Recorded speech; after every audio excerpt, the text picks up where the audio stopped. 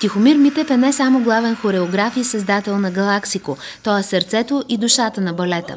Затова юбилейният концерт по повод 10-та годишнина е част от емоциите, които ежеминутно съпъстват хореографа.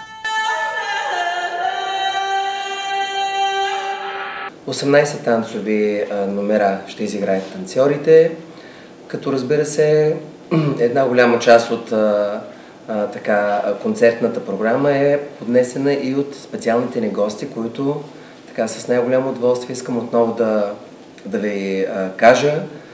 Това са едни невероятни танцори от а, ансамбъл Чинари, съвместно с техния ръководител Сен Павлов, който ми е така и личен приятел. А, Ива Александро, която вече е втора година ученичка в надвис, Специално за нея съм направил Лунната соната на Бетховен, произведение, което така години наред ми е парило в ръцете, но винаги не съм намерил подходящия повод да го хореографирам. Прима балерините и балетистите на Старозагорската и Пловдивската опери също ще танцуват на сцената на Галаксико. Освен тях, концерта ще дебютират 25 смървчета от школата на възраст от 3 до 6 години и разбира се, един опитен гъргамел, който да ги ръководи.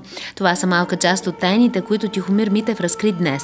А следващата седмица очаквайте още подробности за уникалното балетно събитие само в новините на телевизия Аида.